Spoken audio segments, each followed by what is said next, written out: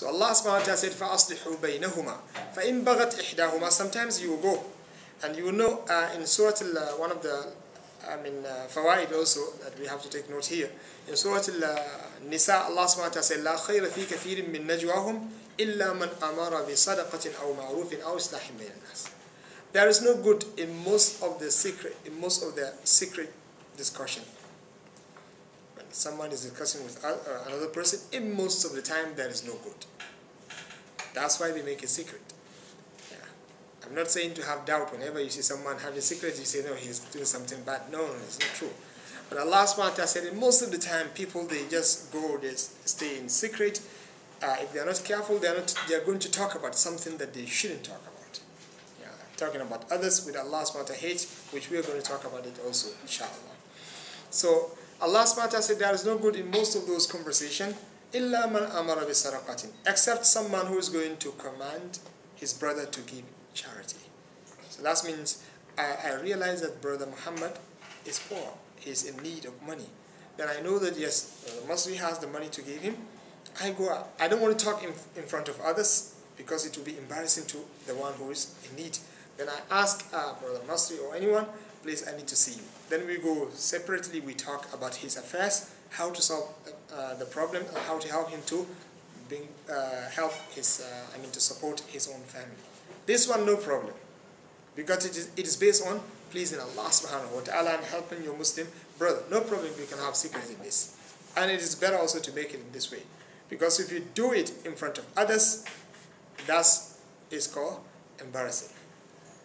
And the guy, sometimes he will refuse. Yeah.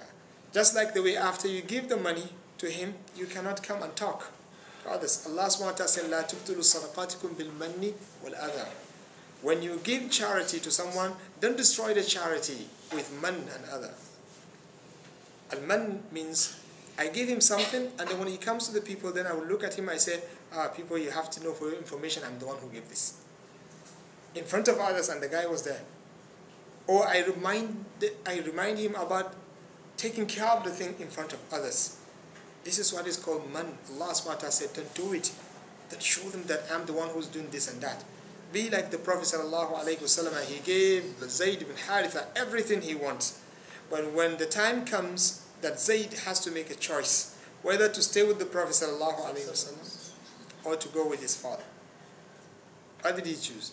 He chose the Prophet ﷺ. How? And look at the way the Prophet ﷺ was dealing with issue.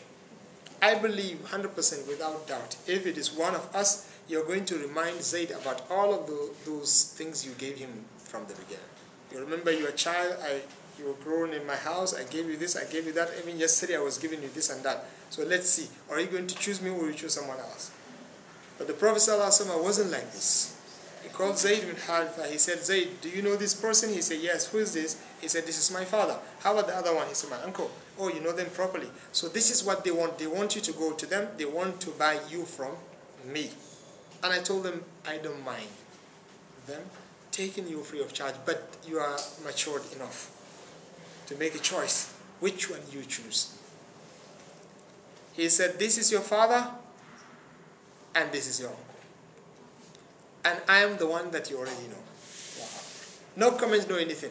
I am the person that you already know. You look at him, he smiles. He said, Prophet, I prefer to stay with you as a slave instead of going to my parent as a free person. And he chose the Prophet because of this. So that's it. Whenever you give someone something, it goes out of your hand. Don't you ever show him anything. Don't talk about it. Don't open the case at all. Don't let him open the case. Don't let him thank you in public, even in secret. Be like the one that Allah subhanahu wa ta'ala said, La nuridu minkum jaza'an wala shukura. We don't need reward and we don't need thanks from you. Inna nakhafu min rabbina yawman abusan qamtarira. We are only giving you this charity to try, uh, in order to try, uh, I mean, trying to save ourselves from the tragedy of the hereafter. One of the scholars said, when he was giving comment on the hadith of the Prophet ﷺ that says, people they will come back to Allah subhanahu wa on the last day with hasanat, amthal al-jibal, just like mountains I mean, they will bring hasanat, good deeds like mountains. They will bring them to Allah subhanahu wa ta'ala, but Allah subhanahu wa ta'ala will take them to hell. Someone was questioning the Prophet sallallahu alayhi wasallam said, yes, because their attitude is when they are in public, they show righteousness. But when they are in their own private privacy, they will show Allah subhanahu wa ta'ala different face. ولكنهم إذا انتهكوا بمحارم الله إذا خلوا بمحارم الله انتهكوها. He said they are the people whenever they are in, in secret, in a place where whereby no one can see them, they will do everything that Allah subhanahu wa ta'ala doesn't want. So that's why the scholars they said you have to be very, very, very, very, very careful of sins that you do which no one sees you except Allah subhanahu wa ta'ala. One of them said, because of this verse, you have to make sure that you have something that you do between you and Allah subhanahu wa ta'ala whereby no one knows except Allah subhanahu wa ta'ala. That's a symbol of a true believer in Allah subhanahu wa ta'ala. Imagine a person was fasting for 40 years. Allah Four zero years. His wife did not know that he is fasting. Not even once. What kind of secret is this? These days, if I fast, I will call Brother Yusuf, I'm fasting. Brother Muhammad, I'm fasting, inshallah, so I will not go. If I'm going to Hajj, all of the dunya is going to know that I'm going to Hajj. I'm going to itikaf. Okay, for your information, next week I will be in the masjid doing itikaf, so please don't call, do this and that. No, what is this? What is this? And some of us will take friends, we go and make itikaf with them, and then it will be something else. So the point is you must make sure that you have something between you and Allah subhanahu wa ta'ala. No one knows except Him. You, would, you will never know how excellent is this attitude and sincerity, having things between you and Allah subhanahu wa ta'ala till you go to Allah subhanahu wa ta'ala. The day you need privacy, where Allah subhanahu wa ta'ala is saying, Yawma tubul sarair. He said, on that day, all of the secrets, they are going to be revealed. I do many things you don't know. You do many things no one knows. No one knows except Allah subhanahu wa ta'ala.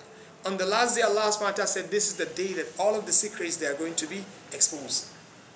So this is the day you need someone to conceal your affairs. So there are many ways of having this. One of them is to have between you and Allah subhanahu wa ta'ala, try as much as you can. When you do things, don't let anyone know.